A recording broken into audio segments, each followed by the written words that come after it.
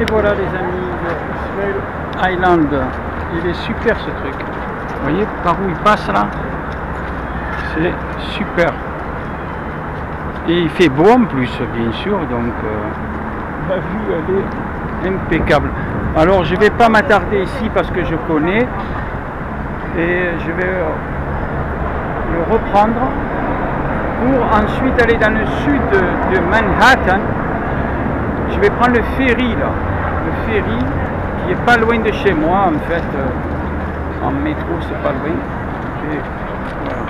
Donc euh, merci, j'espère que vous avez apprécié la visite.